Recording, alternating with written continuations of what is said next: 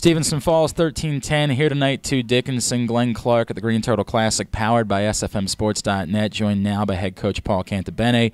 Coach, obviously the storyline for the weekend, the uh, the face-off department. You got Jeremy in there, gave him a chance. Should we expect to see more of him moving forward? Well, yeah, he gives us a chance. He grinds it out. You know, the other two guys, Nathaniel and uh, Dan, you know, they're good kids and they're just young and they're just not as mentally there as we need them to be. And hopefully, you know, they'll bounce back and get obviously get opportunities and stuff. But you know, Jeremy gave us a shot. You know, we got to be better on the ground balls to help him out. You know, we had several chances at him, we just missed them, and I think that hurt us the most.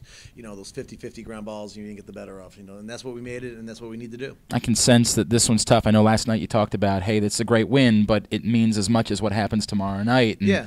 Right. And, yeah, and I just didn't you know I just didn't like the way we started the game. I didn't like some of the things that were going on and for how we played. And we got to do better. We got to play 60 minutes. We got to do these things better, and for us to be successful. And uh, right now, you know, that's kind of the disappointing part is that we had some of our older guys we thought and were doing things well, not and it led to second chances, and we got to yeah. do better. Is part of that in general for a young team learning how to deal with success? That you guys have two back-to-back wins over really good teams. Well, I just think it's no. I think it's more. It's not success necessarily is what we can mentally handle. You know, we have okay. to be mentally tougher. You know, these kids can handle some things, things not we just got to keep grinding out. You know, we got to get ready for Tufts, and then you know we got you know a lot of games ahead of us against a lot of good teams. Still got Lynchburg. We still got um, uh, York, and yeah. know, so we got a lot of good games ahead of us that we can win. And you know, we got our conference obviously, and we'll be all right. And we just got to keep grinding. We're still positive. We got good guys. We have to play better, and we have to start getting our guys playing at a maximum level. We're not getting the best out of all our guys right now. You mentioned Tufts. Let's look ahead to Tuesday night real quick. This is the number one team in the country. You've got history with them, obviously. Yep. Uh, what are you expecting coming in here to Mustang well, we Stadium? know they're not going to change anything they do, and we, you know we, we're not going to change much that we do. But we have to understand who they are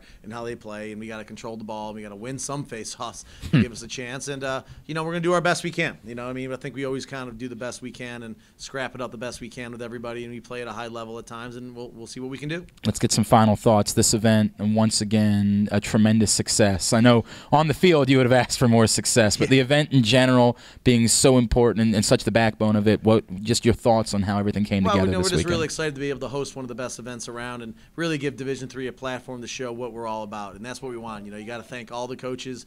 You know, they did a great job sacrificing the weekend to come down here, taking away home games from them and stuff like that. You know, it was great. I really thank all of them for being here and Stevenson and everything they did to help us put it on. And that's what it's all about to put on a great event. Unfortunately, sometimes you don't win in your own event, but you know, I think overall, you know, you got to look at what this is great for the players. They understand what a great time it is to come and play in these games. It's good for the game. It's good for the coaches. It's good for all the different levels out there. And for us, you know, it's just a great thing. And we're really excited about the whole event in general. I think it's great. We, we thank everybody for coming out. The Lax Sport Network, Inside Lacrosse Lax Magazine. You know, everybody was here to yeah. really promote it, and that's what it's all about to give these kids a platform to show what they're all about. And I think it was a great weekend. Coach, appreciate the time as always. Best of luck moving forward. Thanks much. He is Coach Paul Cantabene. I'm Glenn Clark signing off from the Greene Turtle Classic, powered by SFMSports.net.